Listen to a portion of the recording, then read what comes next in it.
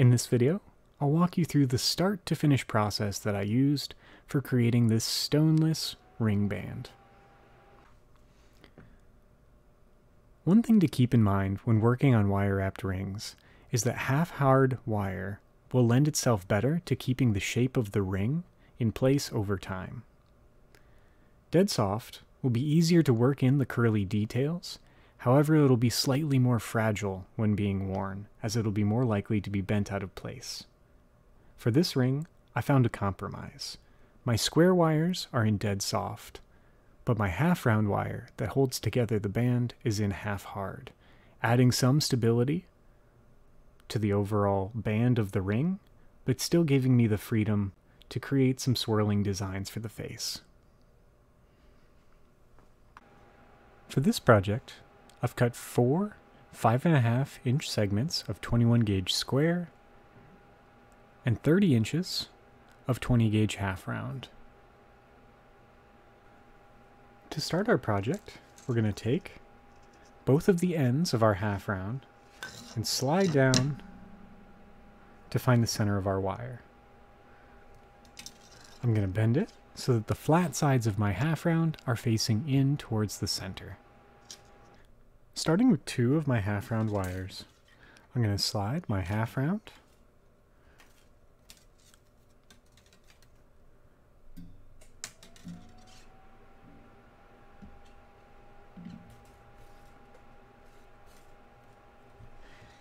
Once I have one coil around, I'm going to flatten it so I can slide this to the center of my wires.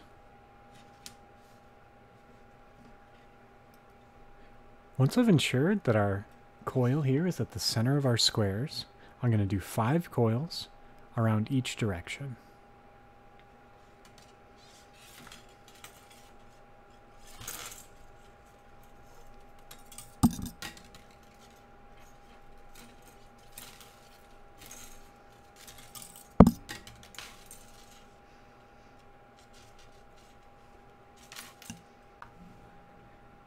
With five coils in place, I'm going to rotate and add five coils to the opposite side.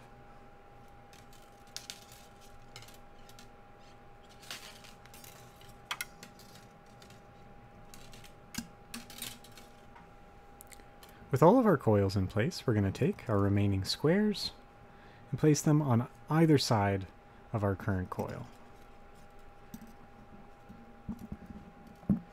Taking our half round, we're going to pass them around all four squares three times.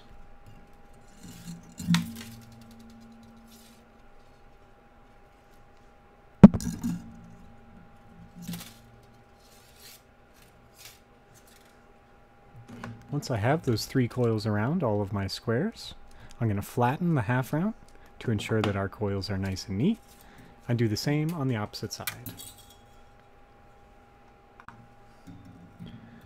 With our three coils in place around both sides, I'm going to bend each of my outermost squares slightly out to the sides just to create some space where we can pass our half round through.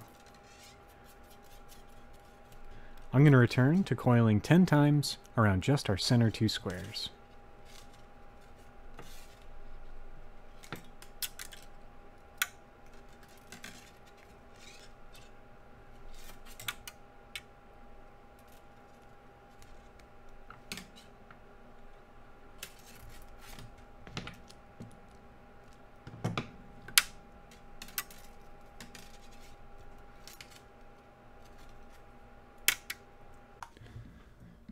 Once I have my 10 coils around my center two squares on that side, I'm going to switch to my opposite end and repeat the same process, coiling 10 times around just my center two squares. With my 10 coils around either side, I'm going to add three more coils around all four wires on both sides.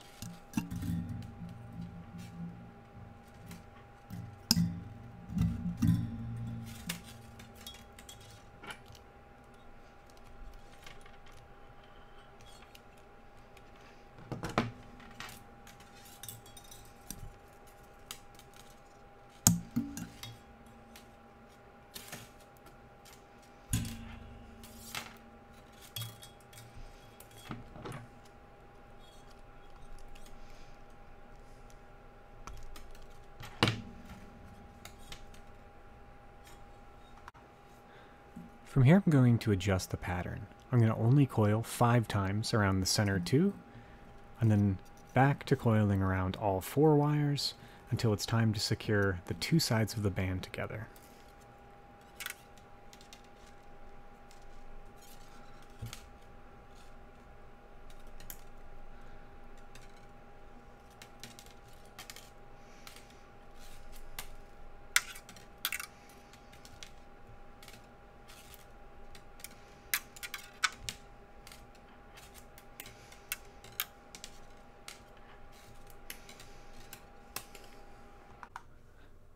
With our five coils on each side, we're going to switch to coiling around all four wires.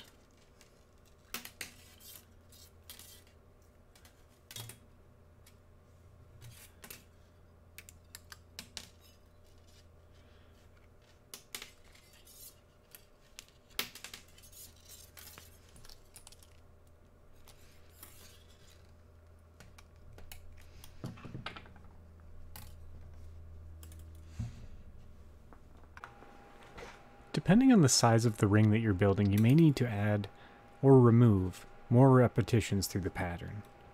For my size 7 ring that we're working on, I'm going to place the middle of my pattern over the 7 on my mandrel and bend each side around.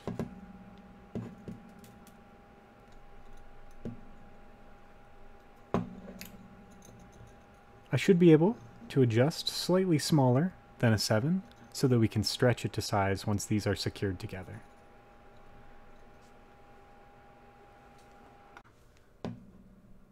We're going to slide our ring down to the size that we're looking for at that 7 and see how much space we have between these two wires to connect them together.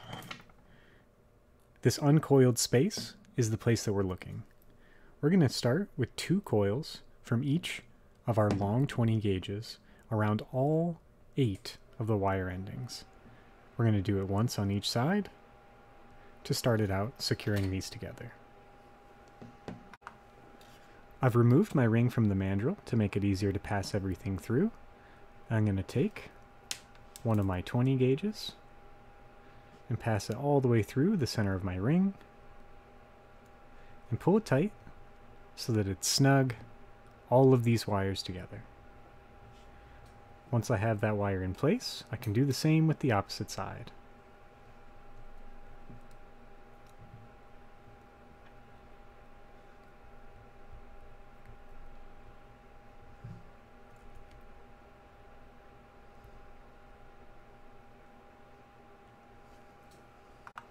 I'm going to pass through once more for each side.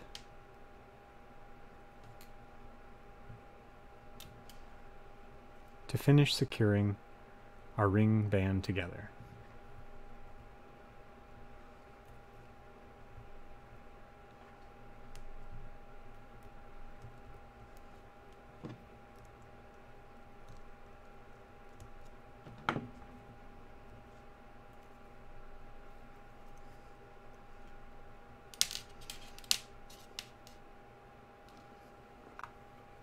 I'm going to pull my wire endings from each side to tighten this whole structure together. I want all of the half rounds to sit nice and neat and flush next to each other. I'm going to start with one side.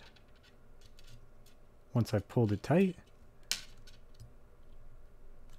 and bend all of my square endings straight up away.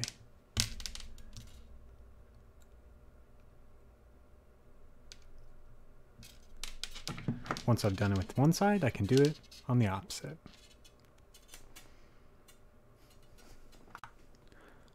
From both sides, I'm going to separate the centermost square wire. I'm going to take my long 20 gauge half round ending and begin coiling one around each of those squares.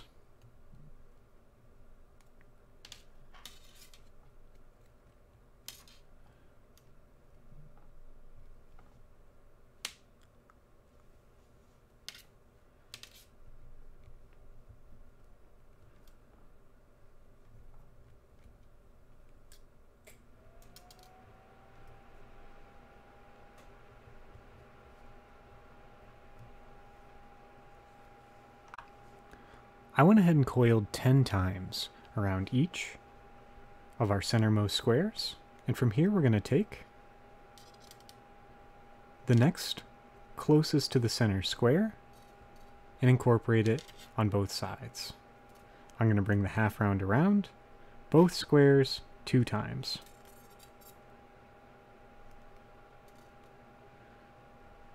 Once I have those two, I can go back to coiling around just my original square.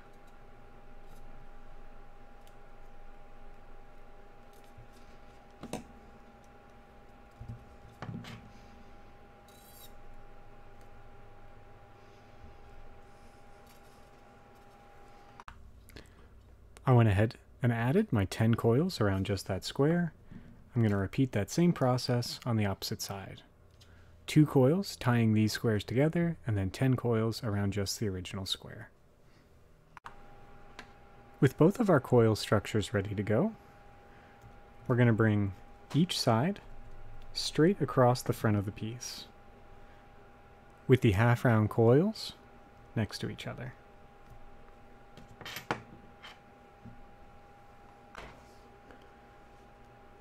We're going to bring both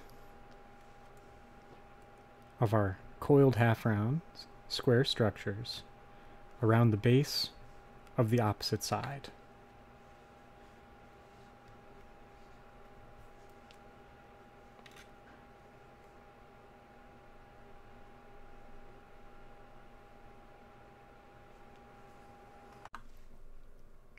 Depending on how tight your center coil is, you may need more or less of the half round. My 10 coils around each side should be about perfect. So I'm going to go ahead and trim the excess off of my square. To the best of my ability, I want to make sure that the ending for that wire is on the bottom of our square. So it'll be sandwiched between the square and the band of the ring.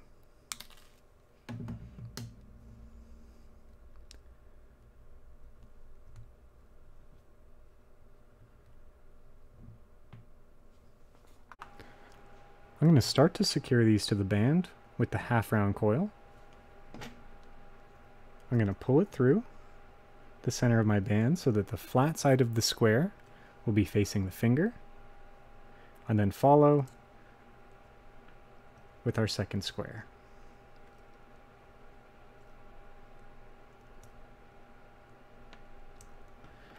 When I reach the other side, I'm going to trim these endings short and flatten them to the surface of my piece, tucked underneath themselves.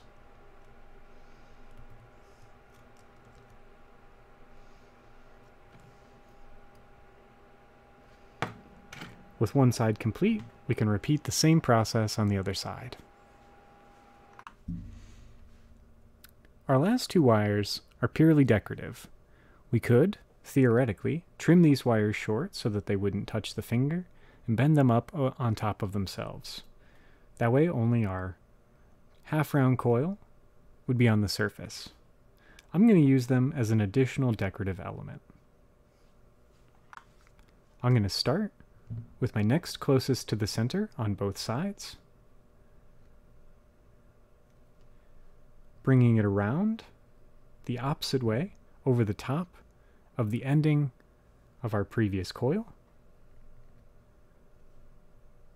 And all the way to the opposite side. This gives a nice oval encasement for the face of our ring. I'm going to secure both of these wire endings similar to the first, passing it through the band of my ring, and then pinching it up flat on the surface of the piece.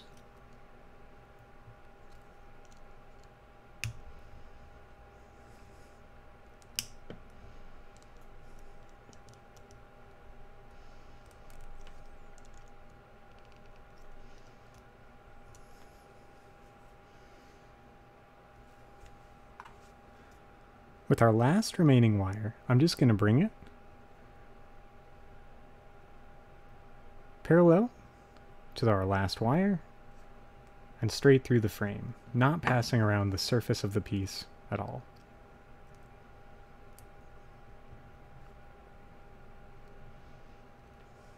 From here I can trim the wire ending short, tuck it underneath itself, and secure it to the piece.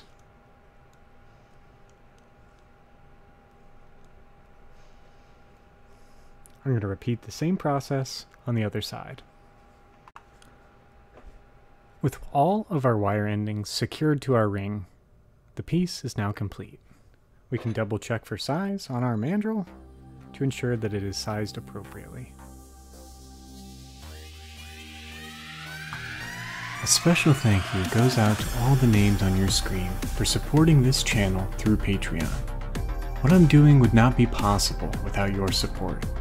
If you're interested in helping support the channel, follow the link in the description below this video.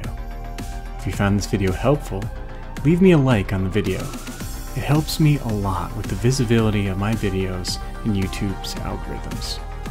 To be the first to know when I upload new content, go ahead and subscribe to my channel and hit the bell to be notified when new videos are available. Thank you for watching, and happy wrapping.